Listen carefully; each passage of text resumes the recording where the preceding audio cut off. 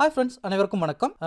Romanian பற்றி தகவலை தெரிஞ்சுக்கொள்றதுக்கு Romanian தமிழன் சேனலை சப்ஸ்கிரைப் பண்ணி சப்போர்ட் பண்ணுங்க. மறக்காம பெல் பட்டனையும் கிளிக் பண்ணுங்க. ஏன்னு சொன்னா நம்ம போடுற ஒவ்வொரு வீடியோவும் உங்களுக்கு நோட்டிஃபிகேஷனில் காட்டும் உங்களுக்கு இலகுவாக பார்க்க முடியும். வாங்க வீடியோக்குள்ள போகலாம்.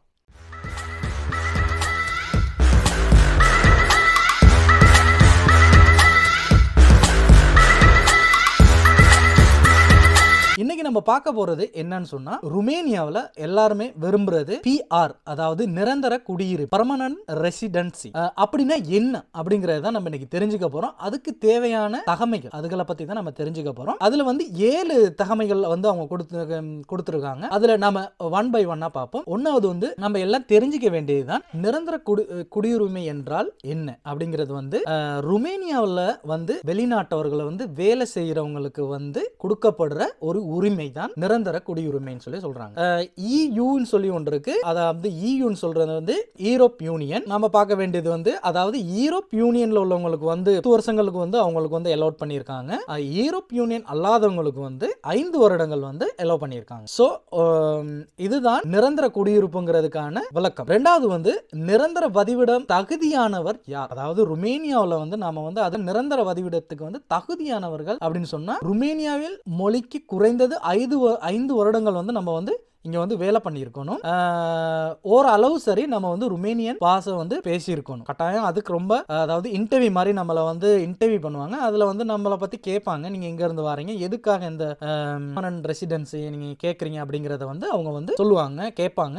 அதுக்கு நாம ஆன்சர் பண்ணணும் ருமேனியன் பாஷாவில். அதுக்கு வந்து அது அதுக்கு அடுத்தது வந்து சட்டப்படி தங்கு தங்குவதற்கு அதாவது நம்ம வந்து லீகலாக இங்கே வந்து தங்குறதுக்கு வந்து சட்டப்படி தங்குவதற்கு எது தகுதியானது? அதாவது நம்ம வந்து இங்கே வந்து லீகலாக தங்குறதுக்கு எது தகுதியானதுன்னு சொல்லி கேட்டிருக்காங்க. அதுக்கு தான் நம்ம வந்து அவங்க சொல்லியிருக்காங்க உங்களுக்கு எதிராக உத்தரவுகள் எதுவும் எடுக்கப்படவில்லை அல்லது சுதந்திரமாக நடமாடுவதற்கு உரிமையை காட்டப்படுவதும் இருந்தாலே நீங்கள் ருமேனியாவில் தங்கியிருப்பதற்கு சட்டப்பூர்வமானது. அதாவது நமக்கு எந்த விதமான போலீஸ் கேஸுகள் கேஸுகளும் இல்லாம இருந்துச்சுன்னு சொன்னா நாம வந்து சட்டப்பூர்வமா வந்து இங்க வந்து தங்க முடியுங்கிறது தான் அவங்க அதை சொல்லியிருக்காங்க. நமக்கு வந்து எந்த விதமான பிரச்சனைகளும் இருக்கக்கூடாது. ஃபைவ் இயர்ஸ்க்கு வந்து எந்த விதமான பிரச்சனைகளும் இருக்கக்கூடாதுங்கிறத தான் அவங்க சொல்லியிருக்காங்க. அதை தான் அவங்க தெளிவா போட்டிருக்காங்க. அதுக்கு அடுத்து வந்து தொடர்ச்சியா தங்குவது என்றால் என்ன அப்படின்னு கேட்டிருக்காங்க. அப்படின்னு சொன்னா தொடர்ச்சியா தங்குவதுன்னு சொன்னா நாம வந்து சிக்ஸ் மந்த்துக்கு மேல வந்து நம்ம வந்து வெக்கேஷன்ல இருக்கக்கூடாது. அதாவது மெடிக்கல் நம்ம காட்டலாம் பட் மெடிக்கல் இல்லாம வந்து நம்ம வந்து சிக்ஸ் மந்த்துக்கு மேலே வந்து நம்ம ருமேனிய நாட்டை விட்டு நம்ம வே வேறு நாடுகளில் போயிட்டு தங்கியிருக்க முடியாது.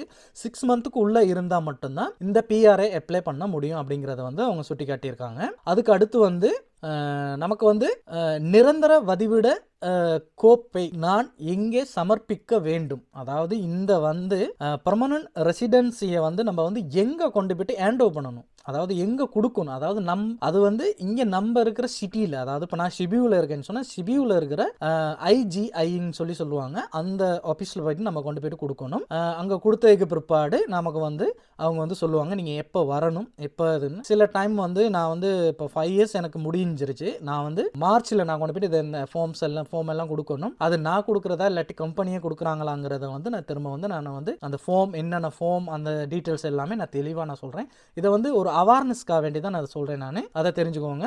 ஸோ சில விஷயங்களை நம்ம தெரிஞ்சுக்கிட்டா நல்லா இருந்தாலும் அதுக்காக வேண்டி தான் நான் இதை சொல்கிறேன் நான். அதுக்கடுத்து ஆறாவது வந்து நிரந்தரமாக நம்ம அதாவது நாம வந்து நான் எனது நிரந்தர வதிவிடத்தை இழக்கலாமா அப்படிங்கிறது தான் கேள்வி. பனிரெண்டு மாதங்களுக்கு மேலே ருமேனியா விட்டு நம்ம வெளியேறி இருந்தோம்னு சொன்னால் நம்ம வந்து அந்த நிரந்தர வதிவிடத்தை வந்து நம்ம வந்து இழந்துருவோம் அப்படின்னு சொல்லி சொல்கிறாங்க அதாவது ஒரு வருஷ ஒரு வருஷமாக நம்ம தொடர்ந்து வந்து நம்ம வந்து நம்ம நாட்டிலேயோ இல்லாட்டி வேற எங்கேயும் நம்ம போய் தங்கியிருக்க முடியாது. பட் ஒரு வருஷத்துக்குள்ளே நம்ம இங்கே வந்து எண்டவாகி திரும்ப நம்ம போகலாம். அதாவது ருமேனியாவுக்கு உள்ளே வந்துட்டு திரும்ப நம்ம எக்ஸிட் ஆகி போகலாம். அதைத்தான் அவங்க சொல்லியிருக்காங்க. பன்னிரெண்டு மாதம் வந்து தொடர்ச்சியாக வந்து நம்ம வந்து வேற நாடுகளில் போயிட்டு நம்ம வேலை செய்ய முடியாது அப்படிங்கிறத அவங்க சுட்டி காட்டியிருக்காங்க அதுக்கு அடுத்து ஏழாவது வந்து தற்கால குடியிருப்பும் நிரந்தர குடியிருப்புக்கும் என்ன வித்தியாசம் அப்படின்னு சொல்லி கேட்டிருக்காங்க. இப்போ வந்து நாம வந்து இருக்கிறது வந்து அதாவது நம்ம வந்து ஐடி கார்டில் தான் இருக்கிறோம். இப்போ வந்து நமக்கு ஒரு ஐடி கார்டு ஒன்று கொடுத்துருப்பாங்க தானே? அந்த ஐடி கார்டு தான் நம்ம ருமேனியனில் ஒரு ஐடி கார்டு அதாவது ஒர்க் பர்மிட்டுக்குள்ள ஐடி கார்டில் தான் நம்ம இப்போ இருக்கிறோம். ஸோ இப்போ நம்ம வந்து பெர்மனன்ட் ரெசிடென்ஸை வந்து நம்ம எடுத்துட்டோம்னு சொன்னால் அதுக்கு பிற்பாடு வந்து நாம் வந்து சாதாரணமாக ருமேனியன் குடிமக்களுக்கும் நமக்கும் ஈக்குவல் ரைட்ஸ் இருக்குது ஆனால் சிட்டிசன்ஷிப் இல்லை. விளங்குதா? அவங்களுக்கு கிடைக்கக்கூடிய த- உரிமைகள் நமக்கு சில வகைகள் இருக்குது அதில் வந்து எல்லா உரிமைகளும் சிட்டிசன்ஷிப் கிடைக்கிற எல்லா உரிமைகளும் வந்து பெர்மனன்ட் ரெசிடென்ஸுக்கு வந்து கிடைக்காது. அதை தான் அவங்க சுட்டி காட்டியிருக்காங்க இது வந்து ஒரு அவேர்னஸுக்காக வேண்டி தான் இதை நீங்கள் தெரிஞ்சுக்கணுங்கிறதுக்காக வேண்டி தான் நான் சொல்கிறேன் நான். ஸோ ஃப்ரெண்ட்ஸ் நீங்கள் வந்து இந்த வீடியோ வந்து உங்களுக்கு பிடிச்சிருந்துச்சுன்னா லைக் பண்ணுங்கள் ஷேர் பண்ணுங்கள் மறக்காமல் நம்மளோட சேனலை சப்ஸ்கிரைப் பண்ணி சப்போர்ட் பண்ணுங்கள் நாம இன்னொரு அழகான வீடியோவில் சந்திப்போம். அனைவருக்கும் வணக்கம்.